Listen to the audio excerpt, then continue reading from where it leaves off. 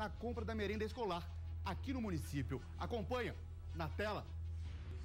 Durante a coletiva de imprensa, a polícia apresentou em detalhes o curso e resultado das investigações da Operação Ponto Final 2. O gerente de controle operacional do Interior 1, o delegado Eric Lessa, que esteve à frente do caso, concluiu o inquérito após quatro meses de investigações, com as últimas ouvidas de vereadores na quarta-feira passada. Ao todo foram colhidos 22 depoimentos, expedidos cinco mandados de prisão, tendo dois cumpridos, colhidas 410 horas de escutas telefônicas e vídeos que serviram de provas cautelares e resultaram em um inquérito de 600 páginas. Os vereadores investigados na Operação Ponto Final 2 foram indiciados pela polícia por corrupção ativa e passiva e organização criminosa. Evandro Silva, do PMDB, Valdo Dem e Neto, do PMN, foram apontados como líderes da organização criminosa e corrupção ativa, com pena máxima de 29 anos e três meses de prisão. Já Val das Rendeiras e Jadiel Nascimento, ambos do PROS, por corrupção passiva e integrar organização criminosa, com pena podendo chegar também a 29 anos e três meses de reclusão. De acordo com a polícia, no início das investigações, um pronunciamento do vereador Ranilson Enfermeiro, do PTB, na sessão do dia 24 de setembro e publicado em um blog da cidade, chamou a atenção. Ele teria acusado a oposição de oferecer propina para que ele assinasse o requerimento de abertura da CPI da CGU e o mesmo recusou a oferta, que, segundo a polícia, foi aceita pelos vereadores Valdas Rendeiras e Jadiel Nascimento. É, na verdade, a investigação vinha correndo desde junho de 2013 e nesse momento nos chamou muita atenção essa fala do vereador e ele teria dito que teria sido pressionado pela, por, por, pela bancada da oposição com dinheiro para assinar o requerimento de abertura da CPI. Daí a polícia iniciou o trabalho e em seguida constatou que efetivamente se tratava de uma organização criminosa. O valor da propina paga pelos vereadores da oposição Evandro, Val e Neto aos vereadores da situação Val das Rendeiras e Jadiel foi de 30 mil reais, segundo o delegado, pago em duas parcelas, uma antes e outra após a abertura da CPI da CGU. Ainda de acordo com a polícia, a CPI que investigaria possíveis irregularidades apontadas em relatório da CGU, como na merenda escolar, seria utilizada pelos vereadores para barganhar valores junto ao executivo. O inquérito policial encaminhado ao Ministério Público também pede o afastamento dos parlamentares dos cargos e o bloqueio das contas bancárias dos edis. E agora o Ministério Público tem um prazo de 15 dias para ofertar a denúncia e em seguida é ofertada a denúncia e o Poder Judiciário analisa se recebe ou não a denúncia. E a Comissão de Ética da Câmara de Vereadores se reuniu hoje pela manhã para discutir as medidas disciplinares que serão aplicadas aos 10 vereadores presos por suspeita de corrupção na Operação Ponto Final. A comissão pode até recomendar a cassação dos parlamentares. Olha só. Os parlamentares se reuniram a portas fechadas para tratar dos procedimentos internos da casa referentes à Operação Ponto Final, deflagrada pela Polícia Civil no final do ano passado. Nós recebemos, dia 11 de fevereiro, um ofício da presidência dessa casa, onde, neste ofício, consta que a presidência recebeu uma recomendação do Ministério Público e esta recomendação é, originou-se aqui dentro desta casa um parecer jurídico da Secretaria Jurídica. E neste parecer, o presidente Leonardo Chaves é, recomenda também a, a, instauração da comissão de ética para apuração dos fatos. E no dia de hoje nós fizemos a instauração, né, autuamos os processos e definimos a relatoria deste processo destes processos e a Secretaria dos Trabalhos. Participaram da reunião apenas membros da Secretaria Jurídica e da Comissão de Ética e Decoro Parlamentar da Câmara. O momento marca a instauração do processo disciplinar e da estratégia de ação da comissão, que deve definir ou não a cassação do mandato dos parlamentares. Ficou estabelecido o seguinte organograma para essa investigação. Ricardo Liberato, do PSC, como presidente, Marcelo Gomes, do PSB, como relator e Rosael do Divinópolis, do PROS, como secretário. A comissão é formada ainda pelos titulares José Ailton, do PDT, e Demóstenes Veras, do PROS. Os suplentes são Edjailson da Caru Forró, do PT do B, Edmilson do Salgado, do PC do B, Ranilson Enfermeiro, do PTB, Lula Torres, do PR, e Heleno, do Inocop.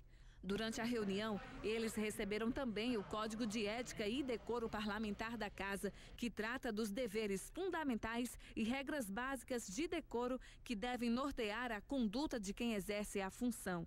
No Código também estão previstas as penalidades para quem descumpre as regras, entre elas suspensão temporária do registro do mandato e perda do mandato mediante cassação. E no próximo bloco, vamos mostrar que a Polícia Militar cumpriu a decisão da Justiça e hoje pela manhã, o espaço onde funcionava a sede e loja do Comando Alvinegro foi fechado pela polícia. E ainda, o Ministério Público se reuniu com representantes da Prefeitura para discutir o futuro do espaço utilizado pela antiga Vila do Forró. É daqui a pouco, agora são 6 horas e 26 minutos. É preço baixo de verdade. É variedade e qualidade de verdade. É a chance de aproveitar para reformar a sua casa com uma casa nova. Confira. Revestimento Pamesa HD 20 por 60, 11,98 metro quadrado. Porcelanato polido 60 por 60 extra, 35,98 metro quadrado. Bacia Istambul com caixa acoplada a partir de 129,98. É por tempo limitado. É até sábado. Casa Nova Construção em Caruaru e Santa Cruz do Capibaribe. Tem pra mim, tem pra tu e tem pra ela. Felicidade, venha, vou abrir minha janela. Bonoso é assim. Sempre tem uma oferta com aquele precinho pra você. Lava roupas em Potix em B4,89. Feijão carioca Parari 2,69. Flocão Novo Milho São Brás 95 centavos. Kit shampoo e condicionador Palmolive óleo de argão ou ceramidas 8,98. juntinho pode vir. O Bonanza tá bem aqui. Centro Veterinário Dr. Jerônimo Ribeiro. É o primeiro hospital veterinário do interior do estado. Profissionais capacitados, ambiente climatizado, plantão 24 horas, atendimento personalizado, tratamento odontológico e ultrassom. Centro Veterinário Dr. Jerônimo Ribeiro. 81 3719 6129 Caruaru. Sábado é dia de botar o bloco na rua e aproveitar o Sabadaço Eletro Shopping. Na seção de móveis, você compra agora no carnê e só começa a pagar em maio. Conjunto de sofá com almofadas grátis, só R$ 74,90 mensais. Cama box casal em mola, só R$ 62 92,90 mensais. Com apenas 799 você leva notebook ultra fino com 4 GB da cadeira e 500 em 3D. Refrigerador Consul com degelo seco. Ou este ar-condicionado Split LG. Só 799 cada. No Sabadaço Eletro Shopping. Perdeu, já era. Voltar às aulas com qualidade. Livraria estudantil tem variedade. Tem tudo em material escolar. Facilidade, preço bom e prazo pra pagar. Livraria estudantil, de algum modo sempre junto de você. Tudo em um só lugar, facilidade pra você comprar. Sempre junto de você. Livraria estudantil. Para a Prefeitura de Caruaru, valorizar a merenda é valorizar a educação. As escolas e creches da rede municipal recebem toneladas de alimentos de qualidade, adquiridos também junto aos agricultores da região. Nas escolas, os nutricionistas supervisionam a preparação das merendas que são servidas aos alunos. Com uma merenda de qualidade, os alunos estão prontos para ter um bom desempenho nas aulas. Meus filhos traziam lanche de casa. Mas agora que eu vi que a comida daqui é de boa qualidade, comem só aqui. É a educação avançando em Caruaru. Venha fazer um test drive na Granjapa e aproveite as vantagens para passar o carnaval de carro zero. Mate 1.0S Flex 2014 completo 32.990 à vista ou entrada mais 60 parcelas de 399. Novo Sentra 2.0 versões SSV 2014 com taxa zero em 18 meses e IPVA grátis. Frontier S 4x2 turbo diesel cabine dupla 2014 de 91.990 por 88.990 com taxa zero em 24 meses. Só na concessionária Nissan Granjapa. TV Jornal Notícias. Oferecimento Estudantil. Há 70 anos. De algum modo, sempre junto de você. Afrodite Motel. O gostoso prazer de amar. Em Caruaru e São Caetano. GM Digital. Impressão na mais alta qualidade. 81 3723 3003. E Caruaru Locadora. A melhor frota. O menor preço. Fone 3722 3889.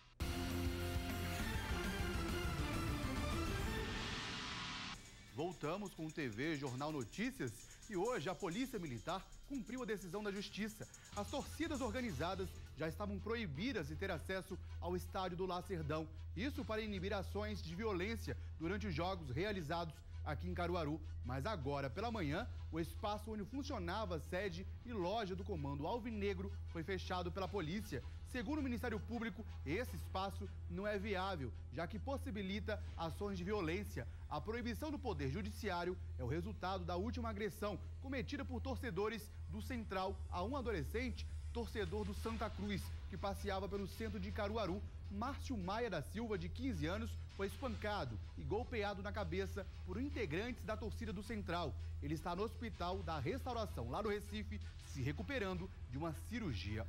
E hoje o Ministério Público se reuniu com representantes da Prefeitura para discutir o futuro do espaço utilizado pela antiga Vila do Forró. Acompanhe aqui comigo.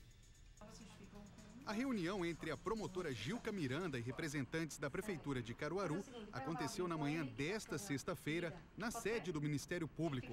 Foram discutidas as mudanças no projeto para readequação do local.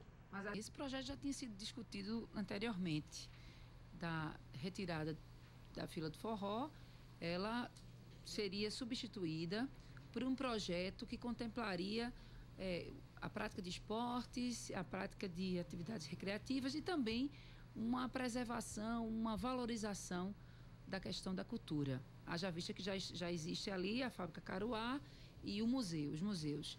Então, esse projeto foi agora readequado com algumas modificações. A gente vai observar quais foram essas modificações na apresentação do projeto no dia 18 e logo após é, será, segundo a Prefeitura, já a implantação do referido projeto. A questão vem sendo discutida pelo Poder Executivo e a sociedade desde 2012, quando a antiga Vila do Forró foi demolida pela Prefeitura. Recentemente, mostramos em uma reportagem que nenhuma obra seria realizada no lugar da vila, segundo o próprio presidente da Fundação de Cultura. Por enquanto não vai ser feito por conta do grande e o pequeno espaço que está hoje o pátio de eventos para o São João do Caruaru. Durante o São João vai ser utilizado novamente os bares e restaurantes aqui com aprovação da maioria da população e a Vila do Forró fica na estação ferroviária para visitação do público. Na época, a promotora Gilca Miranda solicitou esclarecimentos do não cumprimento da determinação do Ministério Público. A prefeitura refez o projeto e no próximo dia 18 ele será apresentado novamente. Existe o um projeto para o espaço, né? nós viemos trazer o Ministério Público, estamos fazendo as últimas adequações ao projeto, mas seria uma pista de Cooper para o local, uma pista de ciclismo e uma academia similar ao que hoje temos a Academia da Cidade, né? com esse equipamento funcionando, sendo retirado durante o São João, a época de festividade de São João, e voltando logo, logo após, né? para a utilização de toda a população. Nós temos o, prazo até o dia 18 de março para apresentar aqui ao Ministério Público, o projeto já pronto. Aí depois desse, desse prazo nós vamos aí pelos trâmites legais, né? os trâmites legais aí da licitação e para início das obras, civis para o início das obras. Com certeza após o São João. E no próximo bloco, vamos mostrar que representantes da APAI se reuniram hoje à tarde na OAB para mostrar à sociedade um pouco do trabalho desenvolvido pela APAI aqui no interior. É daqui a pouco. Agora são 6 horas e 34 minutos. Atenção, não compre nada antes de passar na Ravelo. Você vai fazer o melhor negócio de 2014. Cozinha três peças Anitta, só 12 de 39,90 mensais. Guarda-roupa 5 porta portas e duas gavetas pipa por apenas 12 de 28,90 mensais. Estande para TV e DVD, só 12 de 39,90 mensais no cartão. Cama de mola casal de 490 por 389 à vista. E tem muito mais. Venha se surpreender numa Rabelo perto de você. Dia 20 a 23 de fevereiro, brinque o melhor carnaval em Catende. Dia 20, Trio e Banda Asas da América. Dia 21, Bloco é Pressão e Geraldinho Lins. Dia 22, Marreta é Massa, Marcos Catende, Araqueto e Saída da Mulher da Sombrinha. Dia 23, tá de boa. Realização Prefeitura de Catende. O aniversário do Edu foi um barato. A Embala Festa estava lá. Nas embalagens, prendas, enfeites e todas as delícias. Como é bom contar com a Embala Festa. O Edu não vai esquecer. Embala Festa. Sonhos embalados com amor. Atenção! A Via Estilos tem um recado para você. Grande promoção das lojas Via Estilos. Para você que tem bom gosto na hora de vestir e presentear. Roupas e acessórios com 20% de desconto. E compras parceladas em até seis vezes nos cartões. Camisas de malha, gola polo, calças jeans, bermudas e muito mais para renovar seu guarda-roupa com atitude. É promoção de verdade, mas é por tempo limitado. Via Estilos Caruaru e Toritama. Atenção, atenção. Grande promoção de pisos na ABS Construção. Duas semanas de ofertas imperdíveis. Você nunca viu nada igual. De 1 a 15 de fevereiro. ABS Construção. 3722 4022. Conta Líder, contabilidade, consultoria e planejamento tributário. Atendimento personalizado com qualidade e comprometimento com sua empresa. Consulte-nos. Conta Líder, 3721-9785 Caruaru. Sábado é dia de botar o bloco na rua e aproveitar o Sabadaço Eletro Shopping. Na seção de móveis, você compra agora no carnê e só começa a pagar em maio. Conjunto de sofá com almofadas grátis, só R$ 74,90 mensais. Cama box casal em mola, só R$ 62,90 mensais. Com apenas 799 você leva notebook ultra fino com 4 GB HD e 500 em 3D. Refrigerador Consul com degelo seco. Com este ar-condicionado Split LG. Só 799 cada. No Sabadaço Eletro Shopping. Perdeu, já era. Existem dois tipos de profissionais: os que não se preparam para a evolução do mercado e os que estão prontos para fazer a diferença. Chegou a hora de escolher o grupo que vai mais longe. Inscrições abertas para o Centro de Pós-Graduação Augusto Cury, com MBA em Administração, Saúde e Educação e mestrado nas áreas de Gestão de Recursos Humanos, Terapia Familiar e Estudos Educacionais.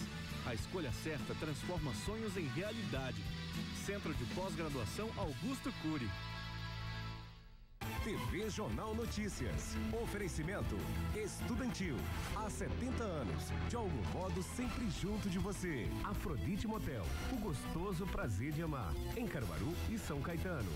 GM Digital. Impressão na mais alta qualidade. 81 3723 3003. E Caruaru Locadora. A melhor frota. O menor preço. Fone 3722 3889.